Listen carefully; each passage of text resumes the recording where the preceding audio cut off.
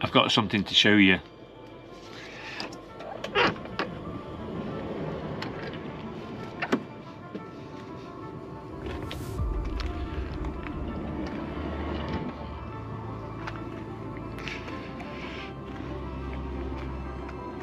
So it's 12 minutes past 6 in the morning.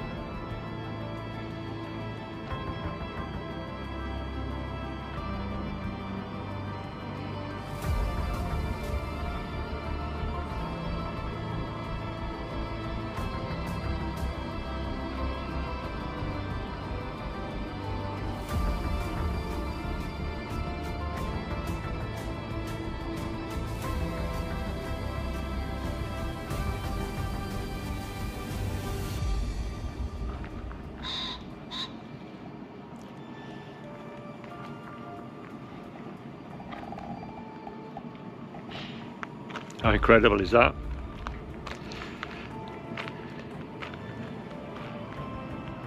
Not sure if the sun's risen yet. It might just be behind the mist.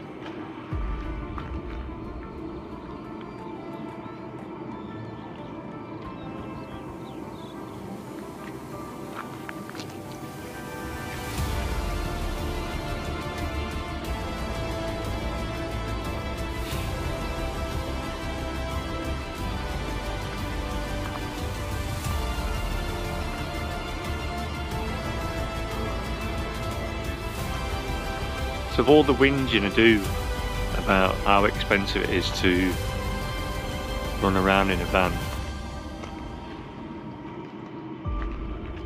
all the thousands of pounds I spend on maintenance and things going wrong, the temperamental solar and recharging things and the diesel heater breaking down at 2 a.m. in the morning and the frost on the inside of the windows.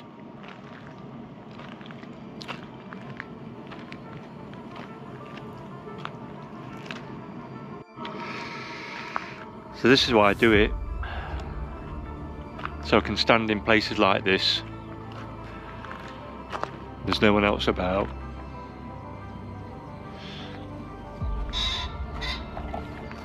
You can stand like this in your pyjamas.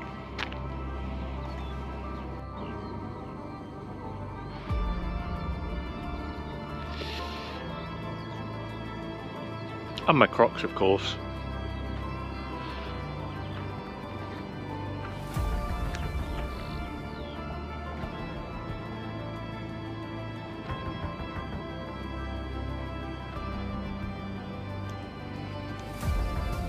Why would you want to spend hundreds of pounds in a hotel room,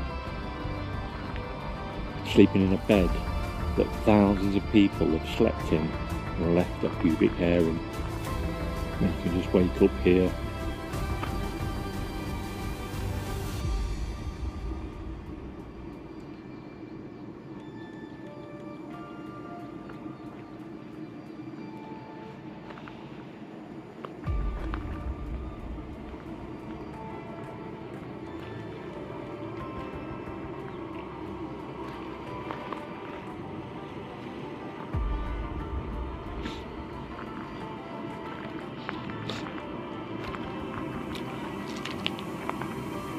There's my little friend. Hello. I'm coming. Wild ponies everywhere here. Over here.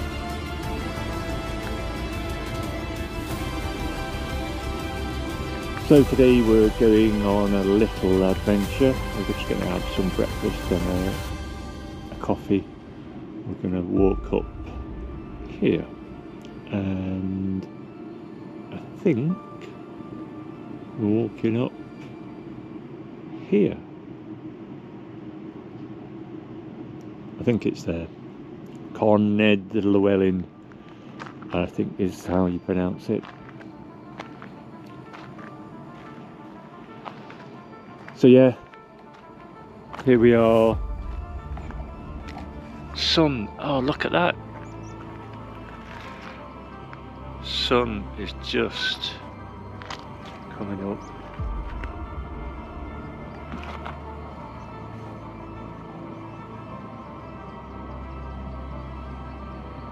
That is just amazing.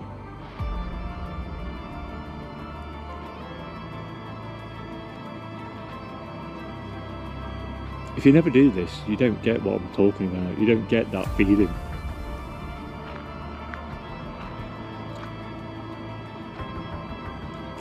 Just absolutely incredible.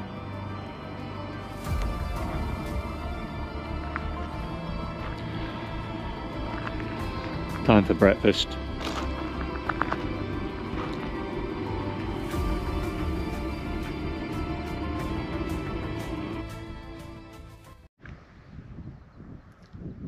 So we're off to see the wizard along the yellow grass road. And this is where we're heading. Um, up onto Carnedd Llewelyn. And I've been up there before. I went up from the Ogwen side, um, but I got to about there and I got stuck. I didn't know the I didn't know I couldn't find the route. It was just like a, a, a bit of a scramble, and I couldn't find the path. So um, and I got the dogs, and it was a bit of a scramble. So I had to abandon it. So I've never actually been up to the summit, and it's a glorious day, absolutely glorious day. Um, now I've come out the wind. The wind's a bit biting. It's only nine degrees. Um, compared to yesterday. It said it was 15 yesterday. But obviously up on the mountain, it's uh, so I'm already at um, 345 meters before I even started. I'm just in this little uh, um, plateau. I just parked right at the end, and um, so and that was a, quite a climb up in the van of 345 meters. And Carnedd Llewelyn is 1044 meters. Um, so yeah, I have got my uh, my shorts on again, but I've got all my winter gear in the backpack because obviously 10 degrees less, whatever it is down at the base, take off 10 degrees, and that is what the uh, the temperature will be up on the summit. And there is actually, um, oh, though it might have gone, there was some snow up on the ridge still um, yesterday, but I think the sun's uh, melted that away now. Um, but what a glorious place this is. I love it. I absolutely love it here. Um, uh, the best thing is, like, who lives? Who lives in that house? Who lives in that house? I've walked for the last two kilometres along this little, um, almost like a dirt track, and there's just some. All of a sudden, you just come across a house, just in the middle, absolutely in the middle of nowhere. And I don't know what is going, I don't know if you can see it, but this kind of reservoir, there's like um, some kind of, I don't know what it is, a massive stone wall. I don't know whether this whole area was flooded once before um, and it's been breached or maybe the walls corroded. Um, but yeah, it's just an impressive, almost like a fortress. Um, but there's no there's no internet signal down here, so I can't Google it to see what what it was all about. But it looked typically that this this whole area was all flooded, and maybe it was just too expensive to maintain the uh, retaining wall. Um, so yeah, we'll um, come back when we're up. Which one we're going up? Up this one. On in the back. We've got to go round and then back on ourselves.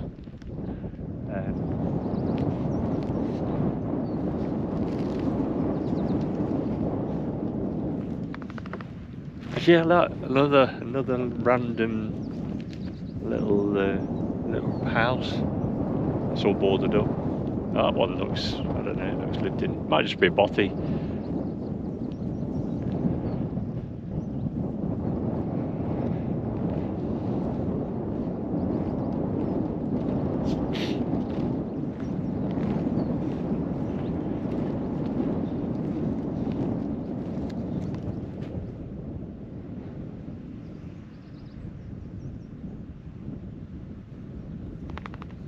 Glorious sunshine.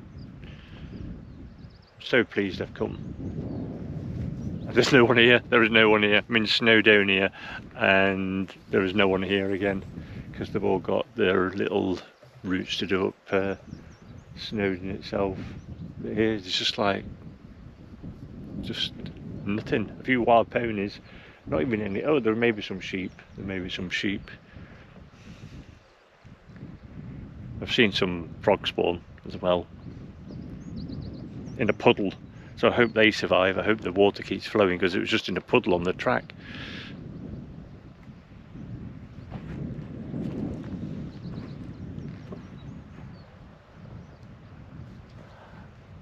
It's incredible, absolutely incredible.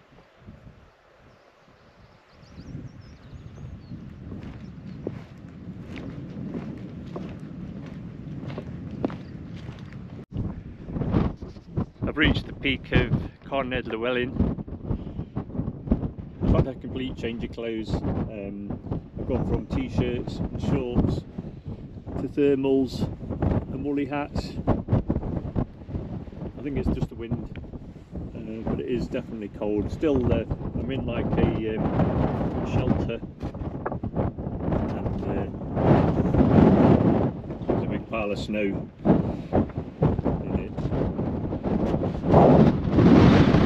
So, uh, got an amazing view, although the wind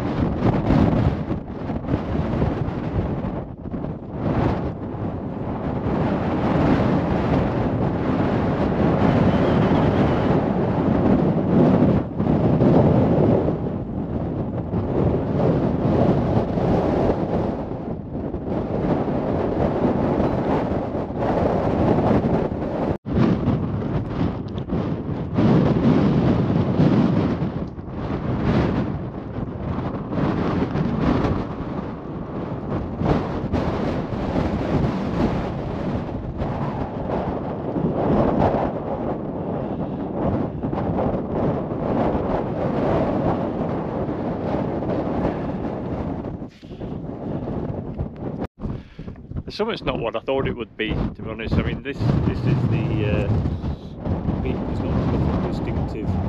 Um, it's just a small shelter here. I've just had a quick bite to eat.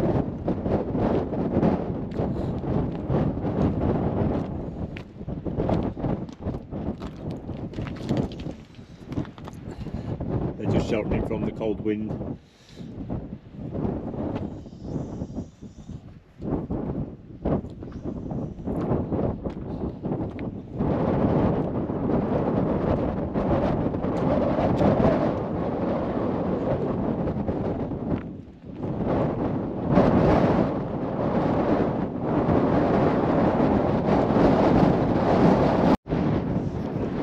Natural Summit's not too dissimilar from Ben Nevis, very lunar, very quite rocky, uh, bit of a scramble over the top, wasn't too bad, it was manageable.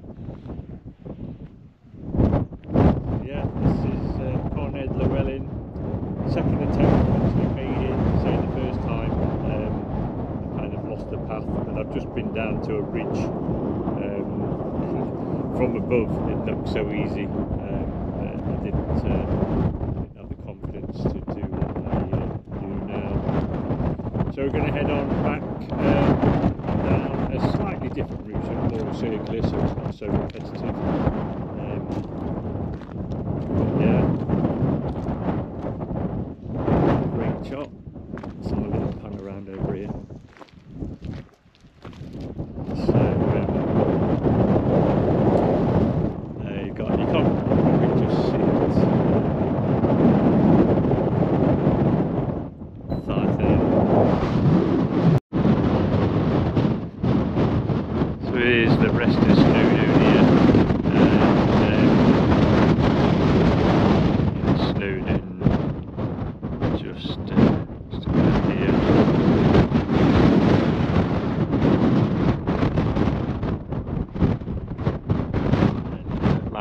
Down there and uh, Menai Straits. I don't know if you can see that, the outline of Anglesey and the Menai Straits.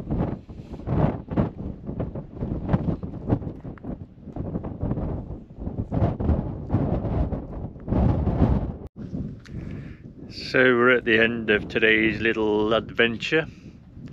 Um, I don't know what this horse is doing. It's been here all the time I've been here. Just on the road. It's only really young.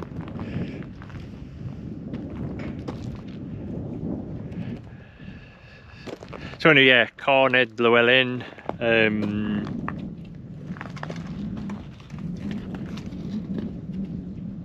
Sixteen kilometres. Glorious sunshine again. It was absolutely. Well, the wind was absolutely Baltic. Um, so I'm back in t-shirt and shorts.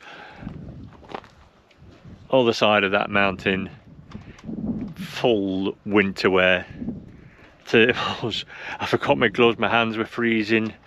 Um, but that's just part of the adventure. Um, so I can't decide what to do. I, am no, I can I can decide what to do. I've just not decided what I'm going to do. Um, as epic as this place is, um, I'd like to find another location um, for tomorrow. Um, so I'm gonna. Yeah, sorry, I've got problems with this gimbal. It's just got a mind of its own. Um, so yeah, uh, I'm just gonna have a look to see where else I can go even though I say this place is so epic um, but I'd just like to find a new place um, and a new height for tomorrow because uh, the weather is going to be gorgeous again. Um, anyway thank you for watching. I hope you've enjoyed it. Um, we have it's been an amazing adventure. Um, completely uh, clears your mind. If you've got any problems with your mental health and you just need to clear your hands just go and climb a mountain